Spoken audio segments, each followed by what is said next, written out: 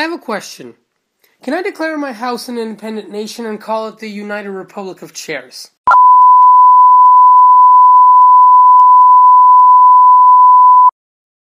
Okay, but seriously, the current situation in Spain has me worried. You've all heard of the independence re- referendum held in Catalonia. And although earlier the president has said that he will not immediately declare independence but will instead choose dialogue, things aren't exactly looking up. I don't have time to go into the whole history, but I'll start by saying that Spain is divided into many autonomous regions, and while they answer to Madrid, many have their own parliament. Catalonia is, is a region in eastern Spain which has its own culture, national identity, and even language. For years, much of the region has had the desire to secede because culturally they would thrive on their own. Furthermore, a fifth of Spain's economy comes from Catalonia, along with a fourth of its export. Catalonia's capital, Barcelona, is the country's second largest city and is the most famous for its tourism, chemical production, finance, and food sector. Given all the attributes, it's quite clear why Madrid wants to hold on to the region of 5 million people.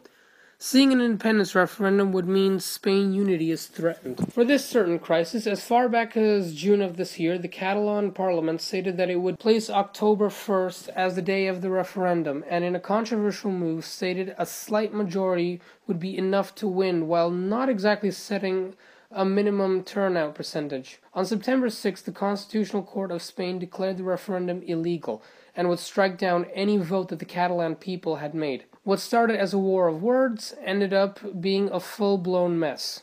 As much as I don't need to explain, on the day of the referendum, the Spanish National Police and Guardia Civil stormed many polling stations in an attempt to disrupt the vote. Police vehicles were pouring into the region with the intent of der- derailing such legislation only a few days before the vote took place. This brought up a furious reaction from the Catalan people, which unsurprisingly increased tenfold on the day of the vote. As many as 1,300 people were reportedly injured in the riots surrounding polling stations throughout the region. Polls closed later that night, and 92% of people voted to see Catalonia become an independent state. Despite this, the Spanish government dismissed the vote and called for unity across the entire country. Since then, the small breakaway region has been in a state of protest, refusing to submit to many state obligations, while the Catalan parliament has been confidently saying that they will declare independence within the next couple of days. So many people wonder what will happen to it next. Due to several clashes between protesters and government escalating to armed conflict, will Spain be next?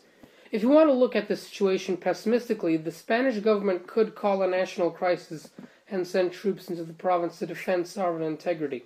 Since it is a member of both the European Union and NATO, it would also gain support from other governments. Should the Catalan people take up arms, violence would spread like wildfire. It's no surprise that nationalism has been the leading cause of war for centuries and has been able to bring fighting spirits into many people. If a nationalist leader were to make a rallying call, the Catalan people would indeed have the determination to fight for independence. Furthermore, Catalonia has its own autonomous police force which went inactive on the day of the vote and allowing polls to open. In a hypothetical war, they would have small arms and light armor covered in regards to fighting strength. According to Transparency International, corruption is still a problem in the Spanish government, and many Latin American drug cartels have set up bases in Spain as their gateway to selling narcotics in Europe. Only in this situation, guns might make their way to the Catalan government should they agree to do business.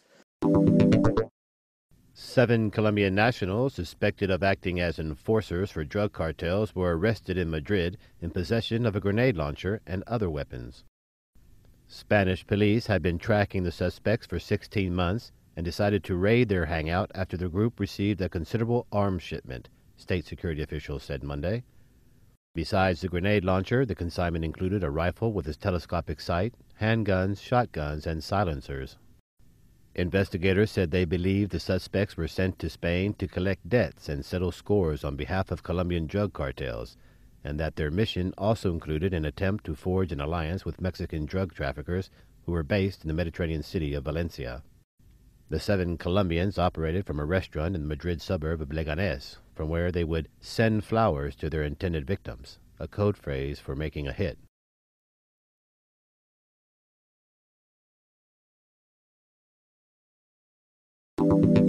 However, there is an optimistic way of looking at this. Although 92% of people voted for independence, a very large number of them are opposed to the idea of an independent Catalonia. Only 43% of Catalans turned up for voting. Many have boycotted the referendum, calling it dull, including opposition parties such as Catalunya Sí que es Pot. Recently this week, counter protesters have also gathered, calling for national unity. We are Spanish. I mean, this is our soil as well.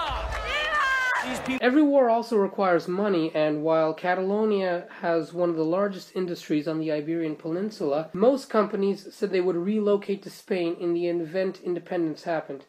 This would basically mean no funds for a war effort. Also, Catalonia has seen very little recognition from some countries like France, who have flat out rejected the vote. In that case, any fighting force would easily be labeled as a terrorist organization by the international community. So, the last thing we need is a war, and a peaceful ending is required, and I'm glad to see some sort of dialogue is in actions because of the events that have unfolded earlier today. One proposed option is to make Spain a federal country in hopes of the Catalan government accepting its terms. I even wonder why this hasn't been done before.